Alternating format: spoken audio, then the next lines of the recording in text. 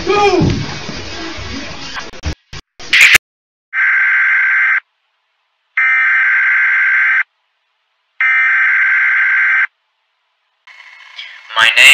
is Quindarius Gooch the Redeemer.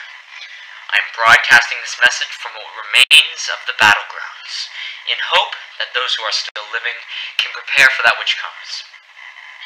There is a horrible being which has turned those who I call my friends into monsters of horrid intention. I desperately advise you to get to a safe place that meets these conditions. You must not be able to see or hear the outside. Nobody except for those who have proven their sanity may be able to enter your haven. Lights must be minimal or non-existent. Make sure there are no speakers or recording slash playback audio items in your vicinity, even outside of your haven. I will explain the need for these procedures in a moment, but for now you must trust what I say and get to safety.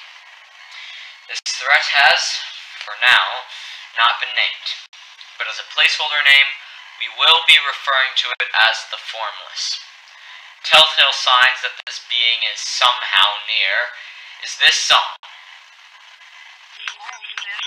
Trapping at the back street, running through the patch like a trap meet.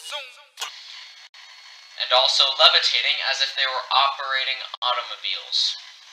Said beings will behave rashly, understand no known language, and attempt to square up with anyone they see.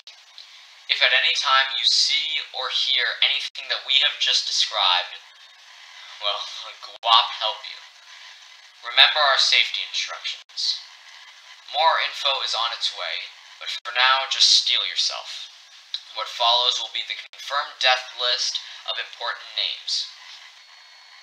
Number 1. Bling Bling Aftung. Number 2. Gandhi, Chieftain of the Fuck Arts. Number 3.